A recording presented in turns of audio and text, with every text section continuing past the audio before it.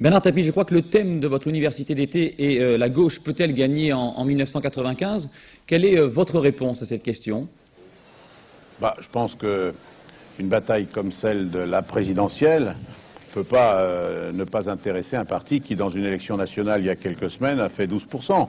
Donc il est clair qu'on veut, effectivement prendre le pouls pour que l'analyse soit objective et soit honnête, mais d'autre part, on veut savoir si on est capable d'influencer le résultat. Alors sur la première question, c'est celle qui nous interroge la plus, est-ce que effectivement les perspectives des différents candidats sont de nature à avoir notre adhésion? Objectivement, comme il n'y en a pas un qui est actuellement déclaré, on est très embêté pour savoir si le représentant ou les représentants de la gauche sont capables de nous satisfaire.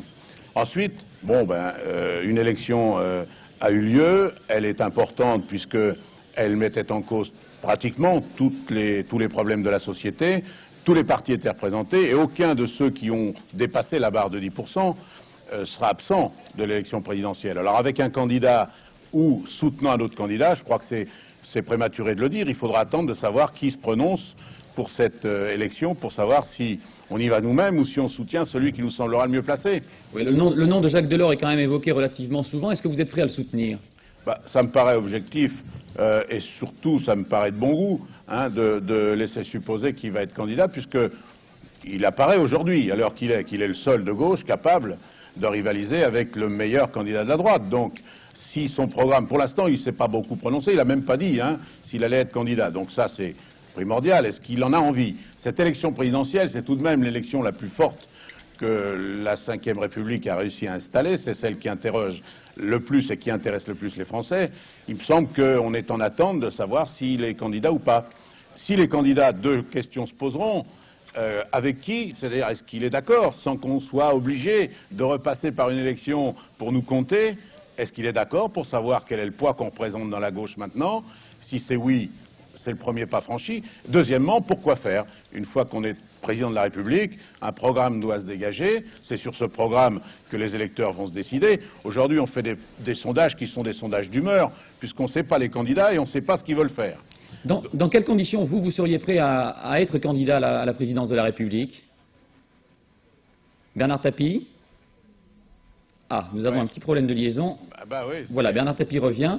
Euh, je vous demandais donc dans quelles conditions vous seriez prêt à, entrer euh, en campagne pour la présidentielle. Moi, personnellement, sachez qu'il y a une seule élection qui m'intéresse, celle pour qui je suis prêt à sacrifier tout, et, j'ai commencé de le faire, c'est l'élection municipale de Marseille. Celle-là m'intéresse, elle me passionne, j'y crois beaucoup, je veux investir tout mon temps et le peu de talent que j'ai, si j'en ai. Alors après, euh, la question c'est qu'est-ce qui fera que les radicaux, plus généralement, moi peut-être en particulier, s'engagera quel autre, radical que vous pourrez se présenter? Jean-François Horry, qui est président, qui a des qualités énormes, qui est un vrai homme politique responsable. Euh, il y en a d'autres. Il y a eu beaucoup de grands ministres. Zuccarelli est un maire de premier plan. Euh, il s'est montré un ministre formidable. Il y en a. Heureusement, les radicaux, c'est pas seulement tapis. Alors, ce que je veux dire, c'est qu'on se prononcera que dans deux cas de figure. Soit le Parti socialiste exige un candidat qui ne fait pas l'union et qui défend, ça serait légitime, mais que le socialisme. Et dans ce cas-là, il faudrait faire un premier tour pour savoir comment nous situons par rapport à lui.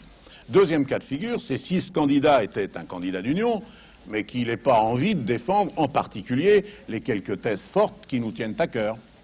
D'accord. Maintenant, Tapi, on a beaucoup euh, évoqué euh, cette dernière semaine euh, le passé du président de la République. Le Parti socialiste a été divisé sur ce, problème. Quelle est, votre, position? Quel est votre sentiment? Mon sentiment, c'est que je ne peux pas juger le président de la République actuelle sur un fait que je n'ai pas connu, mettant en cause des personnages que je n'ai pas connus, sauf, sauf ce que Bousquet a fait, comment il l'a fait, pourquoi il l'a fait. Et précisément l'amitié du président de la République avec, euh, avec M. René Bousquet, qu'il ne conteste pas d'ailleurs, cela vous choque? Euh, ça me surprend parce que je la comprends pas. Elle colle pas, on marie pas une carpe et un lapin. Il y a deux choses qui collent pas. Par conséquent, tant que j'aurais pas eu la chance, et j'espère l'avoir, mais je crois qu'il donnera euh, à la France entière un jour forcément une explication qui nous paraîtra être le bon sens. Je voudrais juste vous rappeler une anecdote. Au 14 juillet l'année dernière, souvenez-vous, ça a surpris beaucoup de gens parce que le président de la République, dans, une intervention qui m'avait réchauffé le cœur, il avait dit au moment de l'affaire OM Valenciennes. J'ai confiance en tapis, je crois que l'Olympique de Marseille est un grand club et qu'il méritait sa Coupe d'Europe. Il l'avait dit parce que quelques jours auparavant, dans un petit déjeuner, il m'avait demandé, les yeux dans les yeux, Tapi, dites-moi, vraiment, est-ce que cette affaire, pour vous, vous n'y êtes pour rien? Et cette marque de confiance qu'il m'avait fait n'était que la traduction de cette question qu'il m'avait posée. Or, pour beaucoup de gens qui n'étaient pas au courant de cette conversation, j'allais dire intime, ça pouvait être choquant de voir le président prendre une position de défense de quelqu'un qu'il aime bien.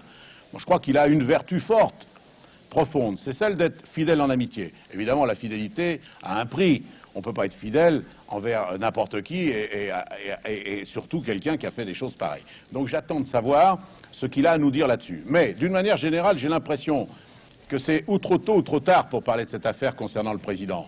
Ou c'est trop tôt parce que c'est l'histoire qui devant un personnage de cette dimension, devra un jour nous dire, et non pas des journalistes d'investigation, mais des historiens devront nous dire la vraie action en profondeur du président. Il faudra le recul, il faudra que la passion s'estompe et que les partis pris disparaissent. Bernard, Tapie, je voudrais poser une dernière question parce que le, temps nous manque. Le temps presse. Voilà.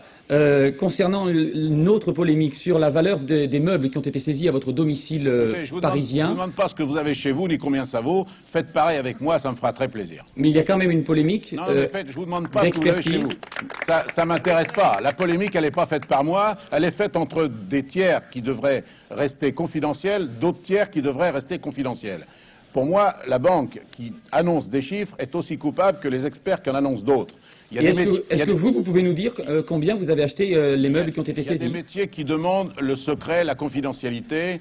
C'est ce qui n'apparaît pas aujourd'hui concernant certains experts et les banquiers. Vous savez, le secret bancaire, c'est quelque chose de sacré. Je pense que les gens qui ont un compte au Crédit Lyonnais doivent avoir peur que demain matin, leur patrimoine soit diffusé dans les journaux, puisque c'est ce qui m'arrive à moi. Alors, soyez gentils, on est dans une soirée politique où la valeur de mes meubles n'a strictement aucune importance.